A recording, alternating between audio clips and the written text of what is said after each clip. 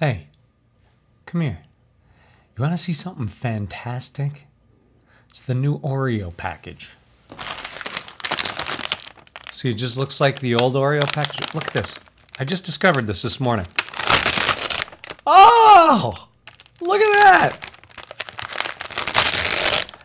That's a nice, easy way to get your Oreo. That is just, and there it is. There's my favorite little cookie. Isn't that great? This is new. I didn't know anything about this. I wonder when this happened. Way to go, Nabisco. Here's my favorite thing to do. Got to twist it, but attempt not to break it. There we go. And there's the gold. That's the good part. Oh, yeah. Now I got this one. Mm-hmm.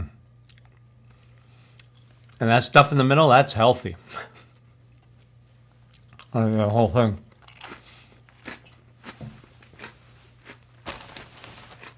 So that got me thinking about nutrition. And here's what I discovered. This is a tip today. Your tip for a living from the Real Life Survival Guide. Comes from an article called Seven Sn- Snooper. oh, that's a good Oreo. Seven super snacks that heal. I don't know if you know this or not, but I wanted to share it with you. A great breakfast is eggs and whole wheat toast. And you want to know why? Want to know? Want to know?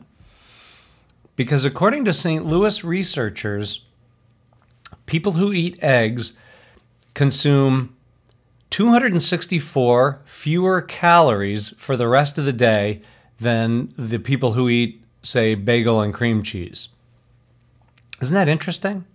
I at least found it fascinating. At 500 calories and 20 grams of fat, the bagel and cream cheese is one of the worst ways to start your day. 60 grams of fast burning carbohydrates will cause a dip in energy and a spike in hunger long before lunchtime. So, your advice today get the new Oreos with the easy opening tab. that is just fantastic. And start your day with eggs and whole wheat toast. If you want to read the whole article, go to the Real Life Survival Guide. And I'll see you tomorrow.